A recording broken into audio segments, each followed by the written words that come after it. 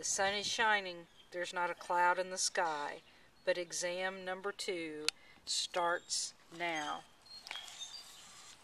Hi, ISDS 2000 students. I just wanted to remind you it's time to hit the ground uh, this weekend. Do your best on exam number two. Don't forget that the instructions are in the content area of PAWS. So be sure to read those so that you get the password uh, instructions and any other information that you might need.